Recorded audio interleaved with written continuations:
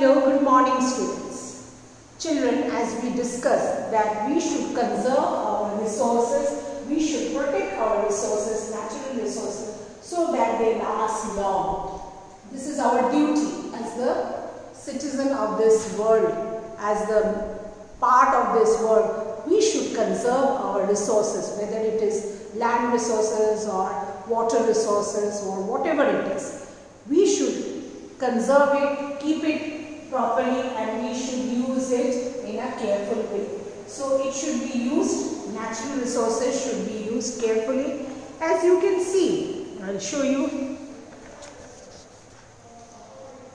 Okay children, as you can see conserving natural resources, precautions should be taken to conserve all the natural resources renewable resources like solar and wind energy should be used as an alternative for commercial purpose. As I told you, nowadays many places you will see that they are using alternative form of energy. Like you know that uh, for each and every uh, work or the machines to run, we need electricity. We need electricity for domestic purposes in, in industries, in the offices, in uh, shops, everywhere. So electricity is uh, an important part of our life. If we generate electricity from alternative energies uh, or alternative uh, natural resources like uh, sunlight through with the help of sunlight or through the help of wind, it will be helpful for us because we can get it again and again and we have, don't have to think like coal or petroleum like whether they will be exhausted soon because as you know uh, coal, petroleum or fossil fuel they are limited in number, they take millions of years to uh, produce so we should use them carefully. So that's why we should conserve the our natural resources which are getting exhaustible, the, which are uh, non-renewable energy and this would help us to conserve the natural resources protecting the mankind and other living creatures on the earth. Our future is in the hand of the if we protect and conserve the resources in coming years. If we keep our resources intact in coming years, we will not have problem. As I told you, like you know, the price of petroleum is too high because they are in limited number in this world. And the we consume more and more petroleum.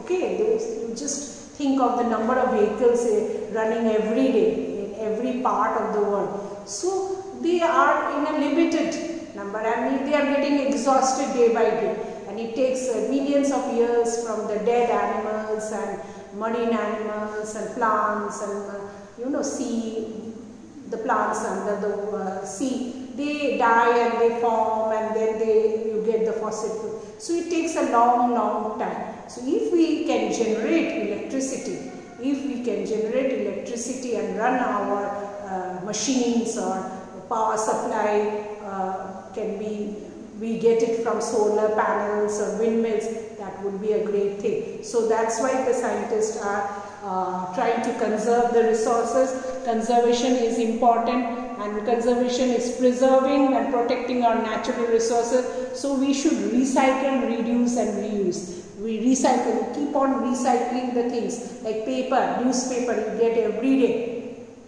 After you have read the, uh, the day's newspaper, the next day it is of no use. What we do, we sell it or, or we throw it out. So that newspaper is recycled and, and a, a new fresh paper is made. So this is how we are recycling, we are reusing and we should reduce, reduce the waste of uh, things, the natural resources and uh, you, reuse, keep on using it once more or reusing it. So that, that is why we should be educated enough. So that's why you are studying about the conservation. We should be educated enough to know that our resources are limited in number and we should keep on uh, preserving it and use. Of course, I am not telling that you have to keep it and you don't use it. Use, but use wisely.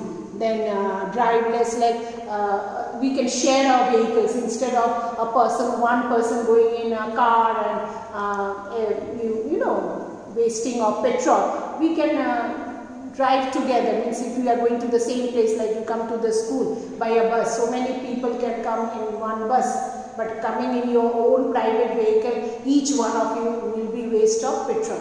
So drive less, you can use alternative things like bicycles if you are going to nearby places. You should be volunteering for the cleanliness of this world. This is very important, cleanliness of your surrounding. Reduce, reuse and recycle. Just now we talked that we can keep on using, uh, reusing like water. Uh, that uh, rainwater can be used for your Uh, irrigation, for your watering your fields, washing something instead of throwing the water, you know, reusing it or even washing the vegetables, that water can be given to the plants.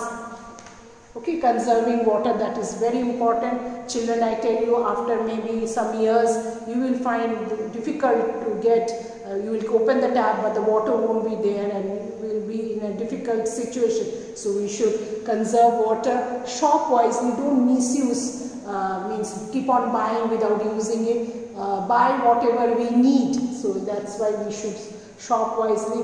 Don't send chemical things to, into the water. Don't dirty, pollute the environment. Use the bulbs which are long lasting nowadays. You see you use LED bulbs and all that and plant a tree. That is very very important.